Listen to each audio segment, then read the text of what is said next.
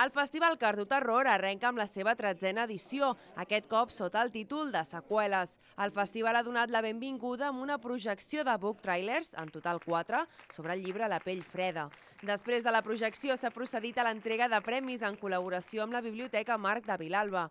Tot seguit s'ha projectat el curt Hide Out del cardedeuenc Aleix Cànovas. En acabar ha tingut lloc al cinema Esbarjo Verdi la presentació d'aquesta edició, la 13, un número important en el món del cinema de terror.